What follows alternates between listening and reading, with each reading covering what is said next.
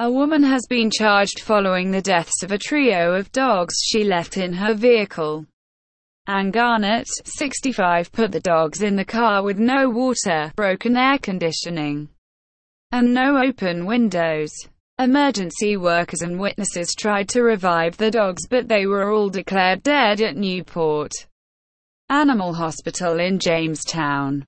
Rhode Island. The dogs, which were found outside McQuade's Marketplace, were two black Labradors, aged 4 and 7 months old, and a grey Keeshond, 4. It is not known how long the dogs were in the car but police described it as an extended period of time.